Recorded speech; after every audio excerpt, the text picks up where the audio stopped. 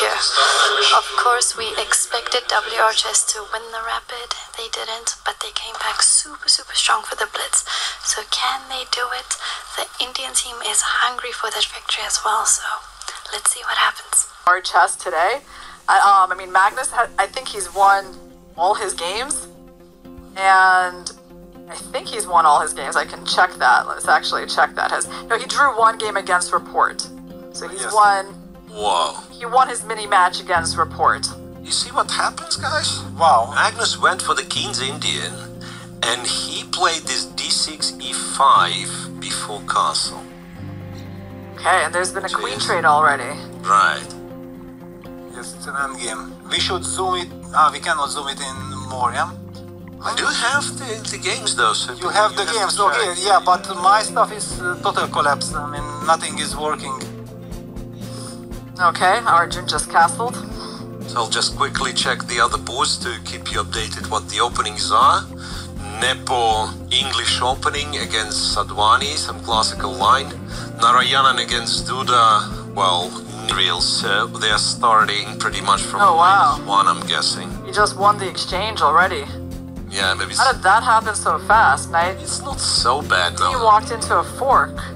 Oh, That yeah, really but- wasn't necessary. But basically here nothing will help for, for me if, unless some technician is coming and restarts everything.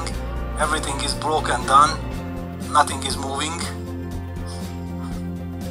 Yeah, so we really need someone to help Peter with with the board, right? Wow, let's just zoom in on the Magnus board and let's see what's going on there. But the problem we missed out on the first moves and now it's not so to There, I have it right in front, Peter. You can just Ah, okay. by looking at my uh, my. Ah, screen. good, okay. Now everything is clear because I was expecting that the position is different. So we're in an end game with pretty much all the pieces on the board except the queens. Um, it does feel It's a very double-edged end game. Yeah, Yeah. it's not the usual typical. Nothing is happening. There is so you much. feel like the initiative belongs to white, right? Yeah, white has the e4 square, but black has this knight d4 resource, and uh, this is all kind of uh, crazy. The big question is how will Magnus solve the problem with his king on c8? Yeah. Yeah, I mean, I definitely wouldn't want to be black. I have to say, I don't love this particular opening result for Magnus. For the moment, it's easier for white to play. Yeah, that's Yes. the point. d3, but also like Magnus, sometimes it feels like he himself believes in him being endgame magician and goes for some endgames which are not that pleasant, just kind of relying on his overall understanding and so on. Yeah, it's interesting that he allowed this early endgame against Arjun. Does he feel like he's taking Arjun into some some territory where Arjun is not as dangerous? Well, we'll see. So Arjun has planted the knight on e e4. Yes, this is a nice outpost. And Magnus has slowed down, it's not so easy.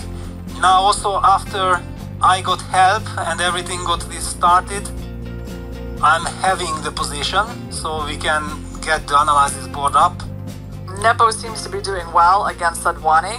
Wait a second, what happens? Uh, Magnus captures On F5, does it work? 5, which looks like, I mean, if it works, it's amazing, but at the same time, to believe that it does. Bishop C5, knight takes E4, Bishop f8, Bishop d3. Or what's happening? bishop takes F8, bishop takes F8. Well, Magnus in a lot of trouble. So That's what's an happening. exchange And the king is on c8. If it would be different, look on c8, king on a8, it's a different story. But happening. Well, Abdusattorov is winning against Pranav pretty convincingly. So I some think good that, news. yeah, no, I think WR, based on their positions, is doing fine even if Magnus loses. Wow, but we we have already seen some positions turn. So yeah, Arjun has to make sure that he wins this. Oh, I mean, they're winning on. Oh, actually, Vadim is gonna lose. Yeah. Vadim is gonna lose. Just Arika is costing you. Well, just a very quick update. Yes, Vadim loses. Abdusattorov completely winning. Narayanan with Duda. Harika is maybe pressing.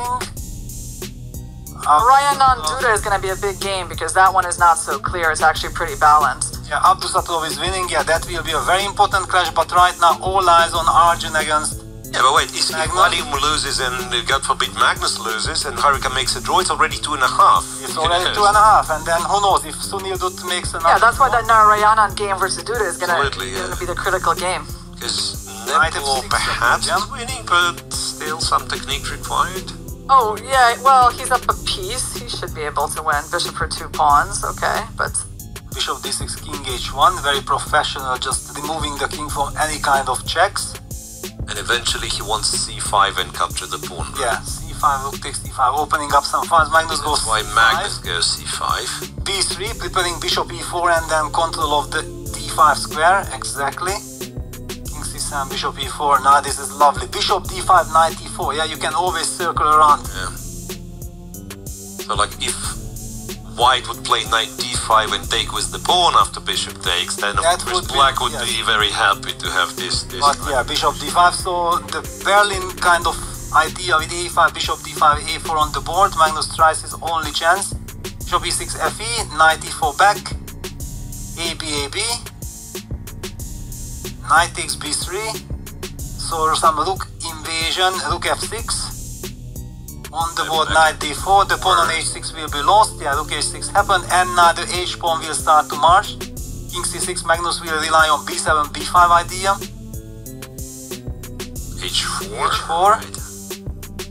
But b5, cb5 he can't capture with the king because of the hanging bishop. Yeah, the bishop is still terrible. Yeah, bishop e7. The, rook the knight on h7 e4 is so h- powerful. It's gonna Yes. hold Yeah. hold up the c pawn.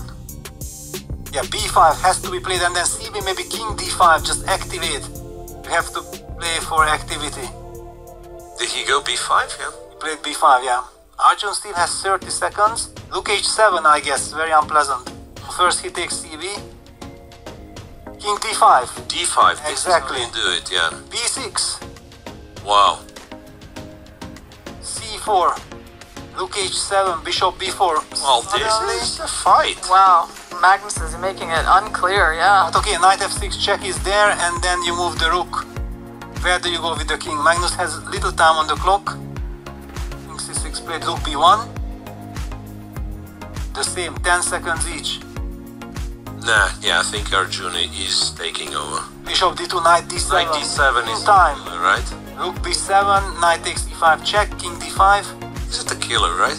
Yeah, yeah, he'll take the knight and still there'll be some. It's down two exchanges now, right? Two But Black still has the right. c pawn on the board. Rook g7, c3, h6. There you go, and this is a good trade for white. Now it becomes technical. Yeah. And now we can zoom in. I don't need to Yeah, there is nothing to Yes. to commentate in terms of how to make sure that yeah nobody loses on time. Yeah, rook e7. Rook e7 seems professional enough. Ah, he plays rook f7. F7. Right here. G4. Bishop f4. Why? F4, Why allowing this? I don't know. F2. But but on the other hand, the G pawn is G just pawn. Yeah. yeah. Okay, good nerves and seeing no ghosts. That's it. Yeah. Bravo. Well, let's look at Narayanan Duda because the match is going to come down to that one game. Narayanan is down a pawn, I guess. But Yeah, there's still there's be. still dr- some drawing chances, right? Some drawing chances, but yeah, if this is a draw, then this is some fairy tale, yeah, because black is more active, black is pawn up. Yeah, the only thing